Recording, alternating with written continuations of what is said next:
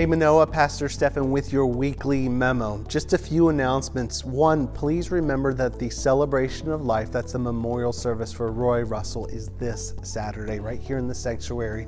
It's going to be at 1 o'clock, but visitation will start at 12 noon. The other announcement oh, and by the way, Roy does not want you to wear a tie. And so I won't be wearing a tie. And so um, I'll be wearing a jacket and whatnot. But in honor of Roy, he was not a tie guy, so don't wear a tie.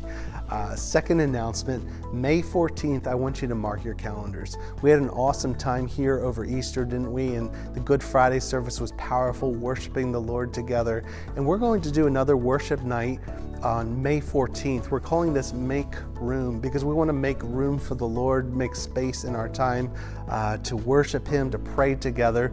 The whole prayer team is going to be there.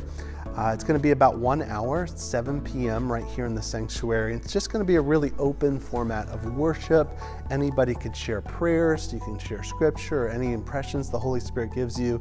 And so, this is going to be a really sweet time of just uh, basking in the presence of the Lord together and seeking His face together. So mark your calendars for May 14th, May room, make room at 7 p.m.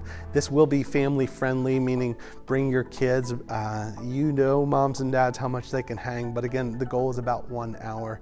And if they need to bow out at any point, you can do that. But there won't be children's ministry. It's just going to be us here in the sanctuary uh, seeking the Lord together, praying together, and worshiping Him.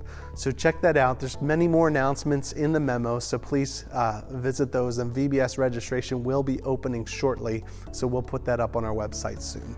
That's it for now. We'll see you again this Sunday. Super excited to seek the Lord together as we enter back into our preaching series through the book of Acts. God bless you.